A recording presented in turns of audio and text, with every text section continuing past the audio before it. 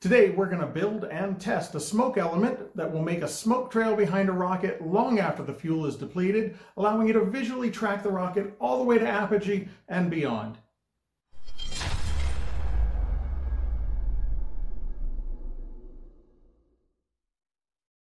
Hello and welcome to Rotary Rocketry. So what is a smoke element? Well basically it's a slow burning product that provides a lot of smoke. The smoke element that we're going to be building today is part of a much bigger project. In the next couple of weeks, I'm going to be building a really large motor, and the smoke element is just one portion of that motor. The motor I'm going to be building is a design by Dan Pollino. If you haven't seen the video I did with Dan a couple of weeks ago, there's a link down in the description. Check that video out after this one. Now built into Dan's motor design is a smoke element. And the smoke element has always worked well for Dan, but I wanted to build one outside of the motor and test it before we build one for inside the motor for two reasons. Number one, I just want to see how well it burns. I want to see the burn time as well as how much smoke it produces. And number two, we're going to be making a little change to the mixture that we're going to use to make the smoke element, so we need to test to be sure that works. The smoke element is made from two simple products epoxy and potassium nitrate. Now when Dan was making his smoke elements, he used a brand of epoxy called West System Epoxy. It's a well-known brand, but it's also a little bit pricey. So I did a bunch of research to find out about epoxies, and I found a competitive product by a company called Total Boat.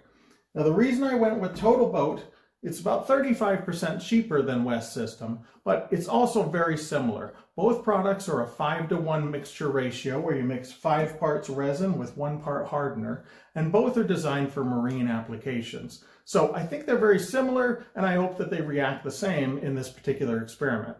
But before we mix up the epoxy, we need to prepare our potassium nitrate. Now, I already buy the potassium nitrate in a powdered form, but it's kind of a rough powder, kind of like table salt or white sugar.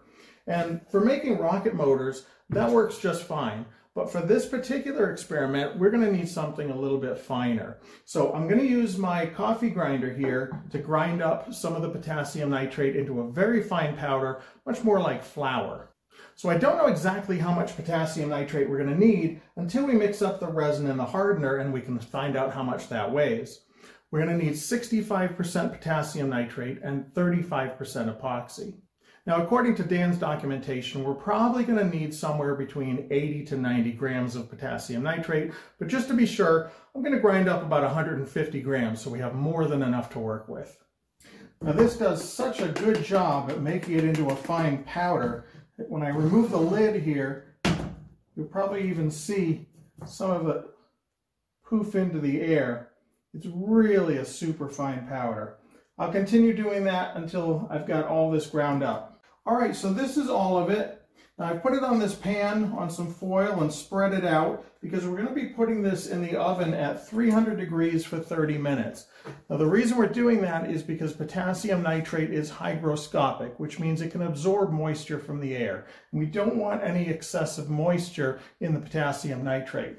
So putting it in the oven for 300 degrees for 30 minutes will drive out any moisture that's in here. And now we're ready to mix everything up. Now when this smoke element product gets poured into the motor I'm going to be building, it gets poured into a piece of 2-inch PVC pipe. So that's what I've got here is a little piece of 2-inch PVC pipe. I've just sealed the bottom up with some duct tape so we have a little area where we can pour the smoke element product into. All right, so I'm going to use two pumps of the resin and then two pumps of the hardener. I'm going to weigh that so we can calculate exactly how much of the potassium nitrate we need to add to that. So it's 63.1 grams and we know the plastic container weighs 16.6 grams so we'll subtract that. So we have 46 and a half grams of epoxy. We'll divide that by 35 and then multiply that by 65 we come out with 86 grams that we need of potassium nitrate. I'll quickly measure off 86 grams of potassium nitrate and we'll mix that in with the epoxy. Now because we're using the slow hardener, we have about 20 minutes of working time with this epoxy. If you use the fast drying hardener, you only have about 10 minutes of working time. All right, I've been mixing this for a couple of minutes. It's thoroughly mixed. And we'll just pour it all into our PVC mold. All right, now we wait. This takes about four days to completely set up. So a few seconds for you, but four days for me. Oh, okay. So it's been four days. Now, I know I probably could have tested this sooner. After about 24 hours, it was rock solid. But I did read somewhere that it can take up to four days for that epoxy to fully cure, and I just wanted to give it that chance to be fully hardened before testing it. Now, when this is in the rocket motor, the heat of the fuel ignites the epoxy. Now, since we don't have that here, we need to simulate that type of heat. So I've got a piece of rocket fuel left over from a previous project. I'm going to crush this, melt it down, and pour it over the epoxy. That should provide the heat that we need to ignite the epoxy, and we're ready for a ground test. Smoke element test in three, two. Before we do that, now would be a great time to talk about safety. When you're burning unusual things like epoxy or plastics, you need to understand that the fumes put off by that burning process might be toxic, which means they can be very harmful to people.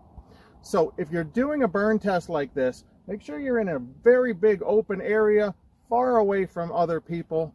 And also make sure that wherever you're standing, you're positioned so that the wind won't blow those fumes back in your direction.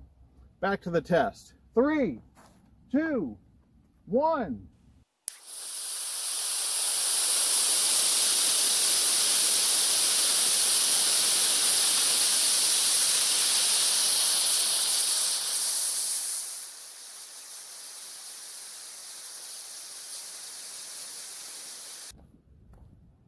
So that initial big burst of white smoke was the fuel burning off the top, and then it reduced down to this lesser smoke, but it's also burning pretty aggressively.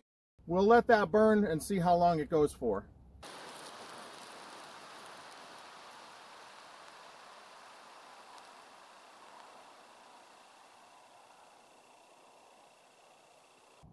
So it's pretty much died down. I'm just going to go put it out with some water.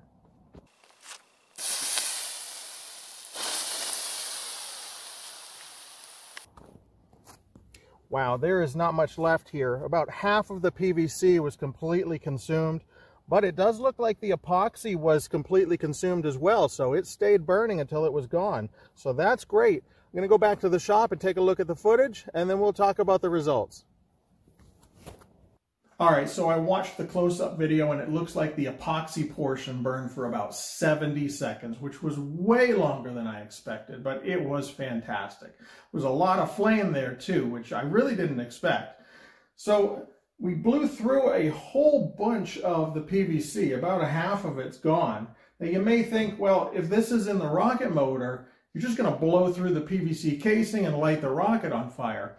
Well, in the design of the motor for this, there's actually two layers of PVC where this is located. There's the PVC pipe that contains the epoxy, and then there's a PVC coupling that's glued on over that. And that's supposed to prevent the burn through. Now the next project I'm going to be working on is building the motor that contains that smoke element. And it's a really big one. And if that goes well, I'm going to need to build a large rocket to hold that motor as well. So we've got some great content coming up. If you're not subscribed to the channel, now would be a great time to hit that subscribe button. Don't miss out on any of our future videos. And if you're still watching the video and you haven't clicked that like button, now's a great time to do it. Thanks for watching. We'll see you next time.